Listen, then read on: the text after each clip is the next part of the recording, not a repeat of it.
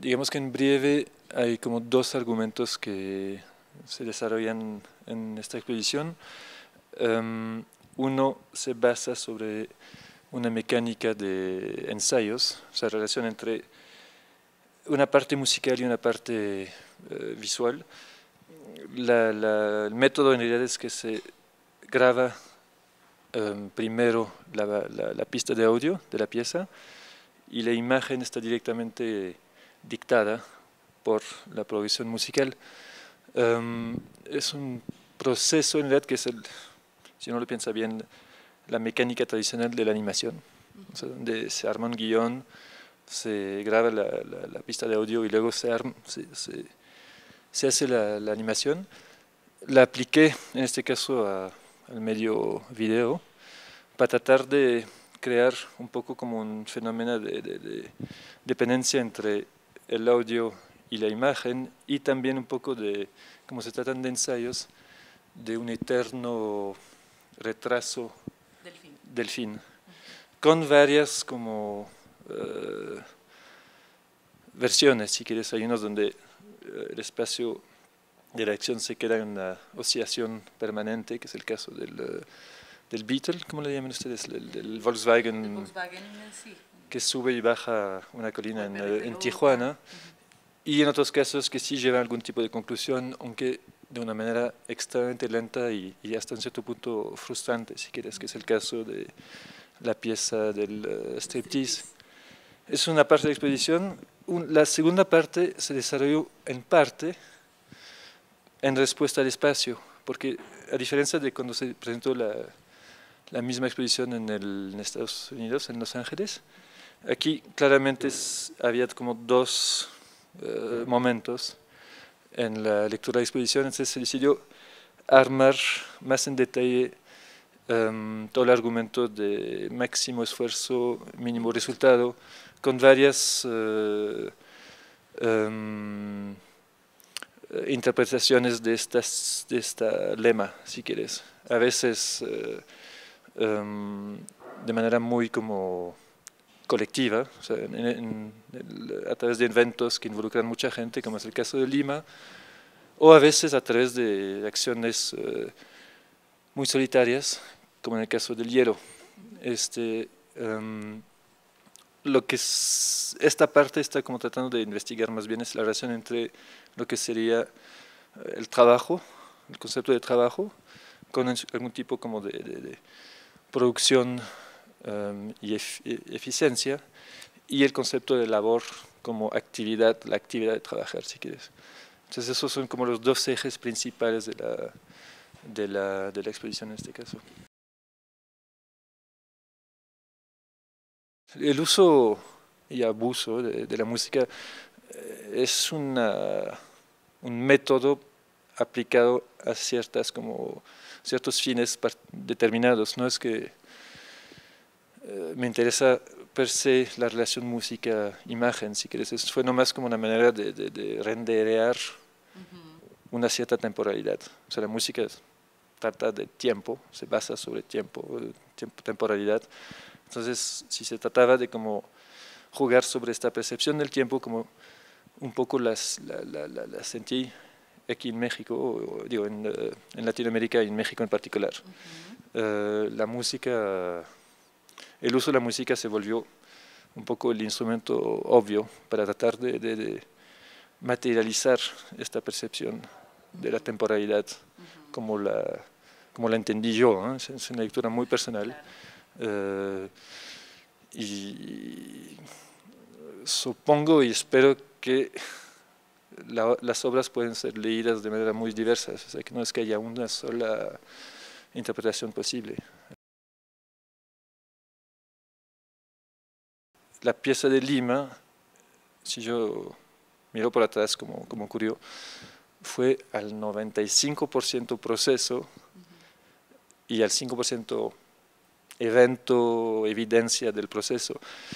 Um, a que voy es que la acción duró unas dos horas, tres horas máximo. El convencer a la gente a que vinieran y participaran tomó meses.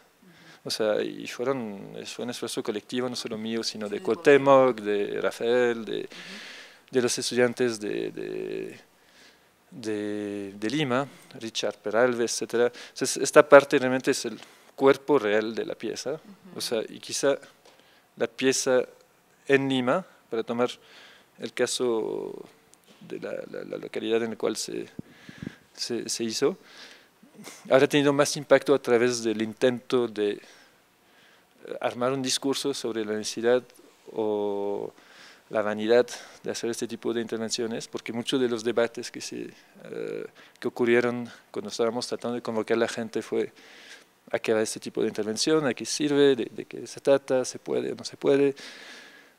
Creo que la vida real del, del proyecto fue allá.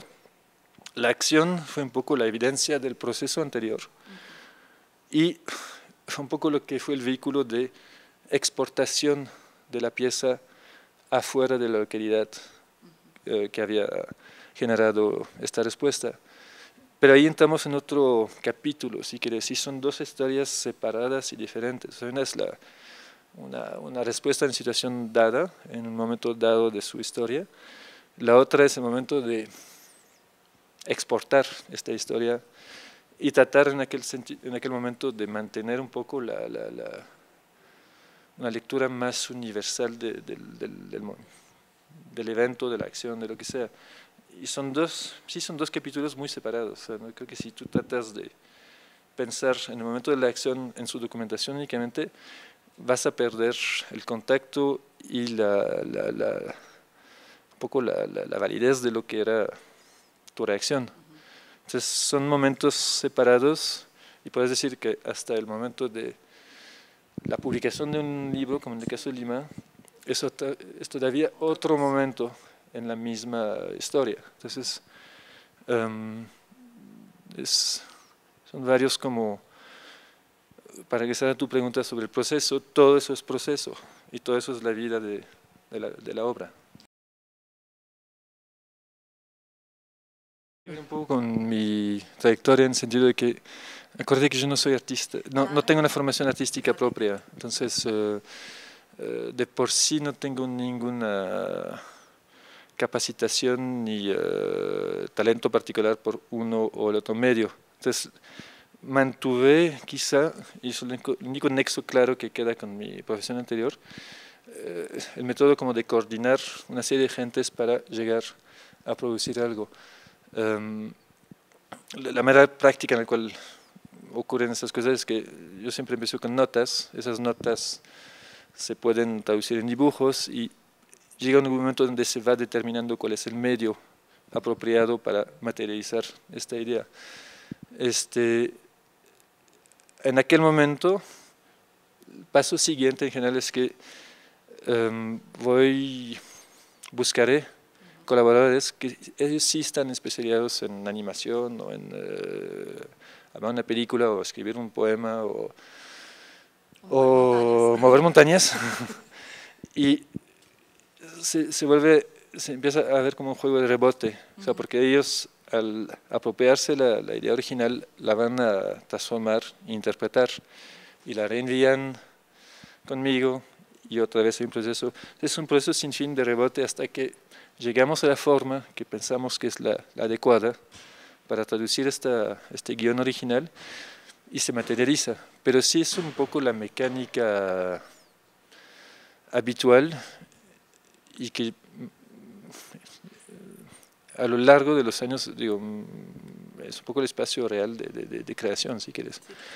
Um, ahora, decir cuál es la autoría real detrás de un proyecto como el de Lima, si, si fue mía, si fue de no, si fue de Rafael, si fue de los estudiantes, no me importa. No importa. O sea, realmente, o sea, es más como una, un proceso de, de, de, de complicidad, si quieres. Claro. Lo que, Los primeros cómplices fueron los rotulistas, ¿no?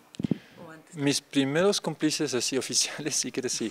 Los primeros cómplices reales fueron los cuatro artistas eh, cuando empecé en México. No había en aquel momento una ni mercado ni, ni espacio crítico. Uh -huh. Entonces, cuando tú hacías una obra, lo primero que hacías era enseñarla a los cuates artistas. Uh -huh. Entonces, tú puedes decir que el primer como el primer núcleo así de colaboración real fue allá.